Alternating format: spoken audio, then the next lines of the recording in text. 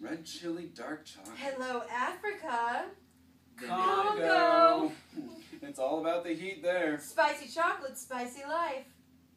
Yep. Yeah. Last piece, they're covered in chocolate around the nose. Milk chocolate with almonds, one of my favorites. They pop it in their mouths and Mallory starts getting emotional. A love triangle in Peru between a milkmaid named Maria, a cocoa bean farmer Luis, and his almond growing schoolmate Jorge. the following will be spoken in Spanish with subtitles. No cutting back to the sampler. Cut to uh, see you. Close Close up. Close up. James, who suddenly has a dark mustache on.